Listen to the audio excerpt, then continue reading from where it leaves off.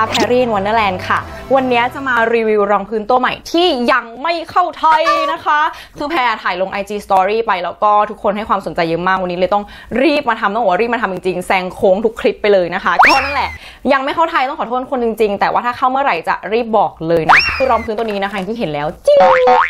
จาก Beauty Blender ทุกคนคงเคยได้ยินชื่อนี้แล้วล่ะ เป็นตัวน้องไข่ของเรานะคะ เขาออกเป็นรองพื้นออกมาวันนี้ได้ลุคนี้มานะคะ ไม่รอช้าแล้วดีกว่า เราไปดูกันดีกว่าว่าตัวเนี้ย เป็นยังไง ดีตามที่เคลมไว้หรือเปล่านะคะ ไปกันเลย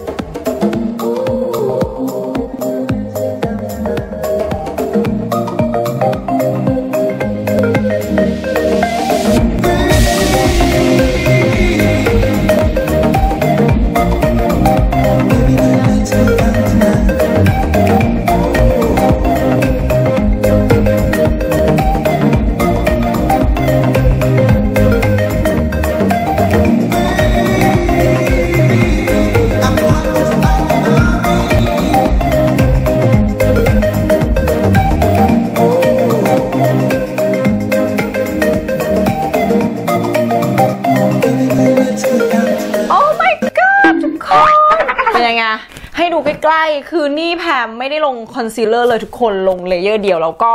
ตรงไหนที่เป็นจุดแบบว่านิดๆหน่อยๆนะคะ หรือว่าใต้ตาดำๆเนี่ยดูดิหายหมดเลยเนี่ย โอ้โห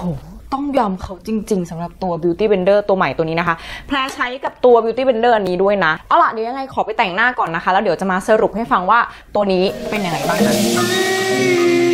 Baby, I'm hot just like an oven. I need some loving. And baby,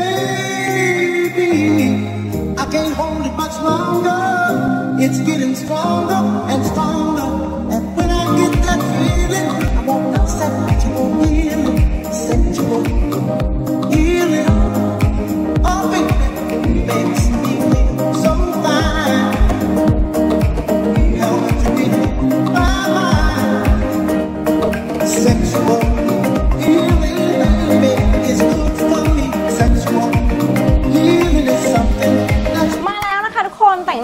วันนี้ก็ได้เป็นลุคนูนๆพีชๆหน่อยเนาะเอาล่ะแพรจะมาสรุปตัวรองพื้นตัวนี้นะคะของ Beauty Blender เอาล่ะแพรมาพูดถึงเรื่องแพคเกจิ้งก่อนเลยนะคะ แพคเกจิ้งของเขาดูเขาเรียกว่าล้ำอะคือยังไม่เคยเจอที่ไหนที่ทำแบบนี้นะคะ อันนี้เป็นเจ้าแรกเลยก็ว่าได้เนาะ ข้อดีของแพคเกจิ้งแบบนี้นะภาพที่เพิ่งใช้เสร็จทุกคนอย่าตกใจนะ หน้าตามันจะเป็นอย่างนี้นะคะ ด้านหนึงเนี่ยเขาจะทำเชฟให้เป็นแบบว่า Beauty Blender แบบนี้ มันจะพอดีกับตัว Beauty Blender ของเขาเลยนี่เห็นปะ คือมันเป็นทรงไข่ที่ทุกคนก็รู้อยู่แล้วว่ามันเป็นทรงมาจาก Beauty Blender เนาะพอดีเป๊ะวางภาพอย่างนี้ได้นะคะ ก็จะออกมาออกแบบมาให้เป็นเว้าเข้าไปข้างในนิดนึงนะ ให้เป็นแบบว่ารองรับรองพื้นนะคะ ส่วนอีกด้านนึงเนี่ยจะเป็นที่กดที่ทุกคนเห็นแล้วนะคะ ที่กดตรงนี้นะคะ แล้วผลิตภัณฑ์เนี่ยจะออกมาจากตรงนี้ เพื่อไปสู่จานตรงนี้นะคะ แล้วเขาก็มีตัวล็อกให้ด้วยนี่ล็อกปิดทำให้กดไม่ได้เอาไว้พกอะไรแบบนี้เนาะถือว่าออกแบบมาได้ดีเลยถือว่าพกพาสะดวกนะคะ แต่ว่าข้อเสียของตัวเนี้ยเดี๋ยวนะ มันไม่สามารถเปิดได้ใช่ปะ ว่าจริงๆมันอ๋อเรากำลังคิดว่านะ มันแอบ refill ได้หรือเปล่าไม่แน่ใจคือนี่ก็คือพยายามแกะออกมาเมื่อกี้แต่มันแบบงึงงางึงงางเหมือนจะแกะได้ไม่ได้งงกันก็คิดว่าในอนาคตเขาอาจจะทำเป็นแบบ refill ออกมานะคะ สามารถถอดตัวนี้ได้นะ ก็เดี๋ยวลองดูกันเนาะ ชื่อเต็มๆของตัวนี้ก่อนเลยแล้วกันนะคะ ตัวนี้ชื่อ Bounce นะคะ Liquid Whip Longwear Foundation นะเขาบอกว่ามันจะติดทนนานทั้งวันนะคะ เป็น Longwear Foundation เนาะแพรมาพูดถึงข้อดีของตัวนี้ก่อน ข้อดีของตัวนี้คือสามารถพกพาได้เพราะเขามีตัวล็อกแบบว่า มันไม่แบบเหมือนมือบางทีเรามือเราไปกดหรือว่ามีของที่อยู่ในกระเป๋าเราแล้วมันไปกดแล้วแบบเฮ้ยรองพื้นเลอะเต็มเนี่ยทุกคนต้องเคยเป็นแน่นอนแล้วมันจะกรีดมันจะกรีดอยู่ในภายในใจแต่ว่ามันอาจอั้นออกมาเป็นน้ำตานะคะ ก็นั่นแหละไม่อยากให้เกิดขึ้นตัวนี้เขามีตัวล็อกให้นะคะ ส่วนตัวเนี้ยผลิตภัณฑ์มันจะออกมา เข้าไปในจานถือว่าโอเคเลยแพรชอบมาก แต่ว่าข้อเสียเนี่ยอยู่ที่ตรงนี้เลยทุกคนอยากให้ดูใกล้ๆคือข้างในอ่ยเขาจะมีช่องนิดนึงอะคือแพรไม่รู้ว่ามันต้องกดแบบในปริมาณที่แรงมากๆ เพื่อให้มันพุ่งข้ามช่องออกมาหรือว่ายังไงนะคะ แต่ว่าตอนนี้แพรใช้ไปทั้งหมด 2 ครั้งนะคะ ซึ่งทั้ง 2 ครั้งเนี่ย ติดอยู่ในรูเหมือนกันเลย มันเป็นรูเล็กๆอย่างนี้ทุกคนเห็นปะแพรไม่ชอบแพรก็จะแบบว่าพยายามเช็ดออกมา ซึ่งมันเช็ดยากมากนะคะ ข้อดีของตรงนี้คือมันอะจะไปเลอะที่จานตรงนี้แทนคือปกติอะเราจะแบบทาที่มือก่อนใช่ปะรองพื้นแล้วเราก็ค่อยมาเซ็ตที่หน้าอะไรอย่างนี้เนาะแต่ว่าตัวนี้เราก็ไม่ต้องมาแบบวนที่มือทำให้มือเราไม่เลอะด้วย ทุกครั้งที่ใช้เสร็จเราต้องเช็ดตรงนี้มันนะทุกคนเพื่อความสะอาดนะคะ แล้วก็ไฮเจนิกนะจ๊ะ ซึ่งมันเช็ดออกง่ายนะคะ สามารถใช้ทิชชู่เปียกทิชชู่แบบแห้งก็ได้แต่แพทก็แนะนำเป็นทิชชู่เปียกเนาะ เนี่ยแล้วมันก็จะติดอยู่ตรงรูตรงเนี้ยเราแบบไม่ชอบเลยอะทุกคนนี่ดูขาวสะอาดใหม่แล้วก็แบบพร้อมใช้ใหม่แล้วนะจ๊ะ มาเรามาดูใกล้ๆถึงเนื้อกันบ้างดีกว่า นี่เลยทุกคนโอ้ my god นี่ทุกคนให้ดูใกล้ๆก่อนคือเนื้อเขาอะหนึ่งเลยคือมันปกปิดมากนะคะ ทุกคนทุกแพรลง layer เดียวบวกกับเนี่ยแพรจะเป็นรอยเป็นรอยสิวนะคะ แบบจุดด่างดำเล็กๆ หรือว่าสีผิวไม่สม่ำเสมออะไรเงี้ยปิดหมดเลย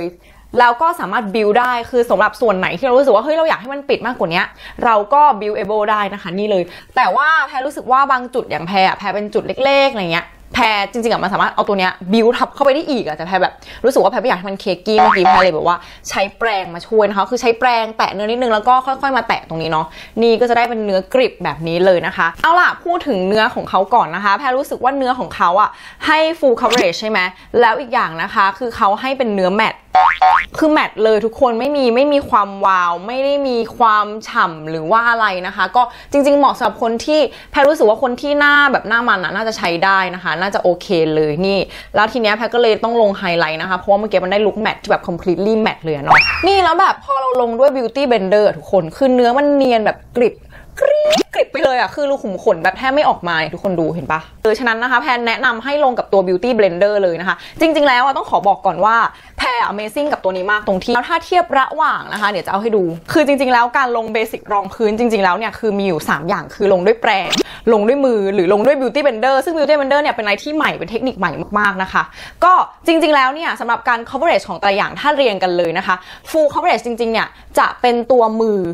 รองมาอาจจะเป็นแปรงคือสองตัวเนี้จะสลับกันอยู่กับวิธีการแล้วก็เนื้อรองพื้นด้วย แต่ว่าตัว beauty blender เนี่ยมันจะให้ความที่เป็น natural มากๆ คือหมายถึงว่าหนึ่งคือมันจะกินรองพื้นนิดนึงทำให้มันอะไปซับน้ำที่อยู่ข้างใน beauty blender ทำให้แบบรองพื้นที่ออกมาเนี่ยมันมีความเขาเรียกว่าอะไรเบาบาง มีความ natural ทีเนี้ย หลายครั้งที่มาลองกับตัวรองพื้นยี่ห้ออื่นนะคะ ที่เป็น full coverage ไม่ว่าจะเป็นตัว Armani หรือว่าตัว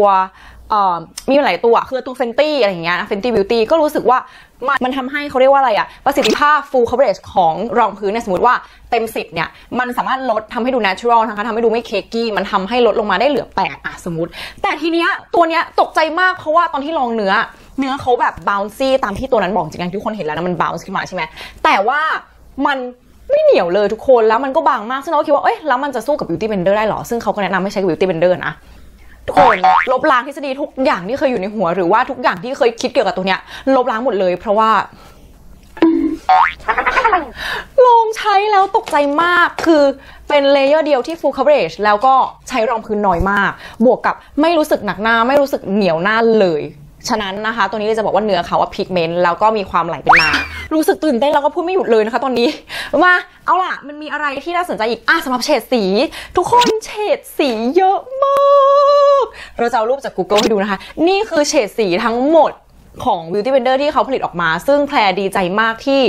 เขาผลิตได้ครอบคลุม ครอบคลุมต้องบอกว่าครอบคลุมมากๆ จากขาวสุดๆ ไปแบบว่าสีเข้มสุดๆ แบบว่าอมเหลืองอมอะไรแบบนี้เนาะก็ตามนั้นนะคะ จะเลือกยากนิดนึงนะ ฉะนั้นคำแนะนำอย่างหนึ่งที่แพรจะบอกเลยคือตัวเนี้ยมันแอบออกซิไดซ์นะคะ การออกซิไดซ์คืออะไรนะคะ ทุกคนอาจจะเคยได้ยินหลายรอบแล้วแหละว่าแบบเฮ้ยรองพื้นออกซิไดซ์คืออะไรออกซิไดซ์คือการที่รองพื้นมันเปลี่ยนสีนะคะ เปลี่ยนสีให้เข้มขึ้นเนื่องจากจริงๆแล้วเนี่ยมันจะต้องเจอออกซิเจน มันเลยเปลี่ยนสีให้เข้มขึ้นเนาะจริงๆแล้วหลายคนจะว่านี่ก็ไม่แปลว่าไม่ดีหรือเปล่าการออกซิไดซ์ของรองพื้นแปลว่ารองพื้นตัวนั้นแย่หรือเปล่าไม่ใช่นะคะจริง ๆ แล้วเนี่ยบางยี่ห้อรองพื้นบางยี่ห้อที่เขาไม่มีส่วนผสมที่เป็นเคมีมากๆเนี่ยเขาก็จะทำให้รองพื้นอะออกซิไดซ์เช่นกันนะคะจริงๆแล้วมันก็เป็นข้อดีมันอาจจะแบบว่าช่วยในหน้าเราทำให้แบบว่าไม่มีเคมีมันหน้าเราเยอะเนาะก็ตามนั้นแล้วก็ลองเลือกดูแล้วกัน ถ้า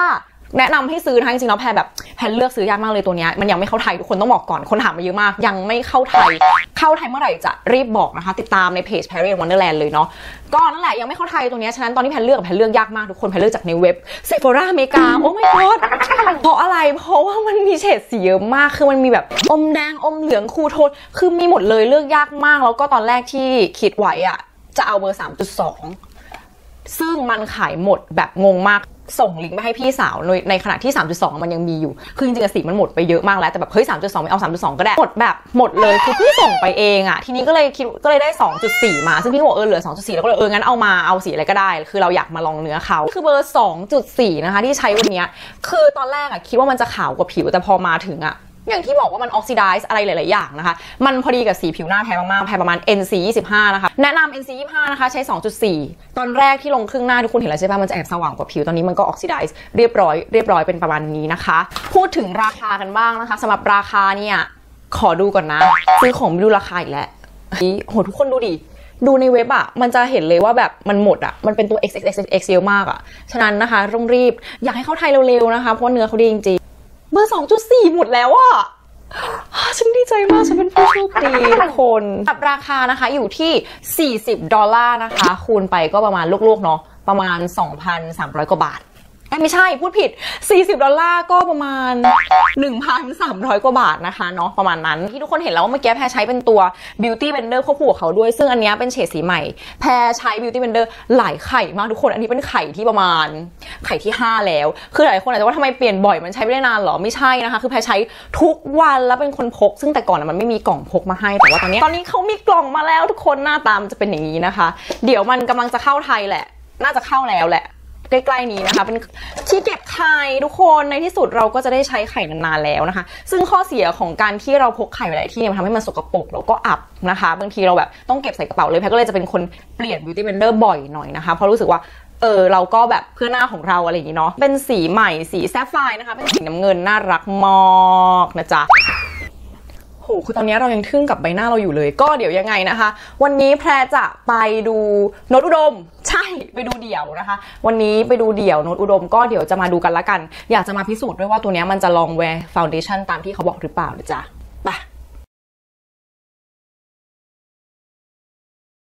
มาแล้วนะคะทุกคนตอนนี้เป็นเวลาตีสองแล้ว แต่งหน้าโดยประมาณนะคะ6 7ชั่วโมงได้แล้วทุกคนอยากให้ดูใกล้ๆค่ะคืออันนี้เป็นหน้าที่แพมไม่ได้ซับเลยทุกคนไม่ได้ซับเลยจริงๆ คือแบบแป้งสักแอะอะไรไม่มีเลยนะคะ ก็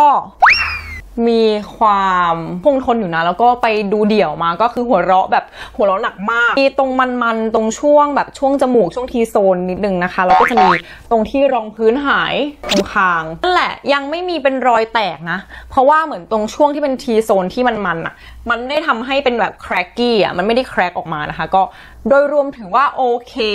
ควบคุมความมันได้ในระดับหนึ่งแล้วก็ ความปกปิดก็ยังดีอยู่ได้ทั้งวันเลยนะคะนี่ ปังไม่ได้เติมเลย